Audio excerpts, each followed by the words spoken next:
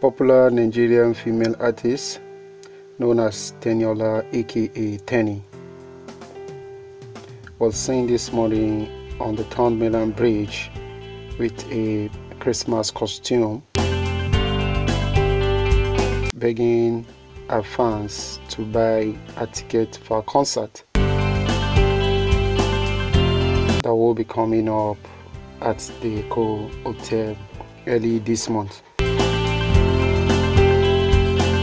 The artist was seen with a megaphone and a Christmas costume dancing all over the bridge in a view to solicit to her fans, you know, to get them to buy a ticket for the show. Many fans of hers, you know, have really commented in regards to the video. Some were like, Teni, you better stop music and go into acting.